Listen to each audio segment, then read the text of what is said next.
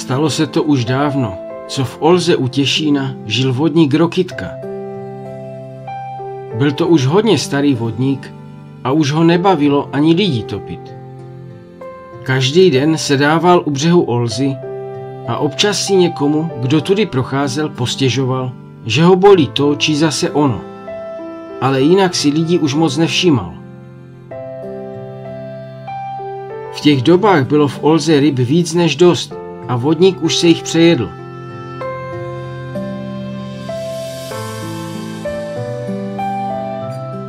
A tak chodil do Těšina na náměstí, kde si u řezníka maso kupoval. Ale byl, jak už to tak u některých bývá, velice vybíravý. A někdy se zdálo, že je rozmazlenější než zdejší šlechta. Stále se mu na mase něco nelíbilo. Buď bylo moc hubené, nebo zase prorostlé. A tak to bylo každý den, až toho měl řezník už tak akorát dost. A když tak Rokitka zase jednou vybíral maso a ostatní lidé, jež si sem také přišli nakoupit, nahněvaně odcházeli, neboť neměli tolik času čekat, až si vodník Rokitka maso vybere. Řezník viděl, že přichází o peníze a tak se na Rokitku rozhněval. Vykřikl na něj, ať si laskavě vybere a jde, neboť i jiní chtějí nakupovat. A přitom se ohnal po vodníkově ruce. Vůbec si neuvědomil, že ve své vlastní ruce drží nůž a vodníka řízl do prstu. Jak už to tak bývá, vodníkovi z rány začala téct krev. Vodník se chytil za prst a zle se na řezníka zašklebil.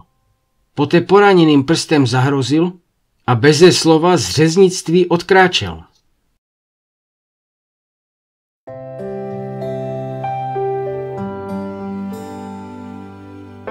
Od té doby už v Těšíně ani u řeky vodníka nikdy neviděli. Řezník se od té doby bál, neboť se říkalo, že vodník se rád mstí. A ženské na náměstí den co den čekali, co vodník Rokitka řezníkovi provede. Ale dny ubíhaly a nic se nedělo. A tak se na to pomalu zapomnělo. Samotný vodník Rokitka však na to nezapomněl a v Olze vyčkával na příležitost řezníkovi se pomstit. Řezník se dlouho vyhýbal řece a raději chodil jinudy, jen aby se mu vodník nemohl pomstit. Ale jak čas plynul, řezník na incident zapomněl a myslel si, že ho vodník nechá být.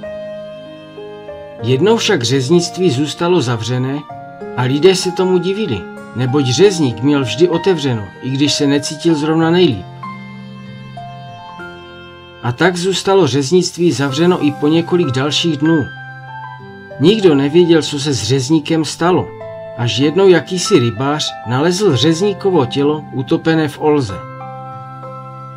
A tak se vodník Rokitka pomstil za to, co mu řezník provedl.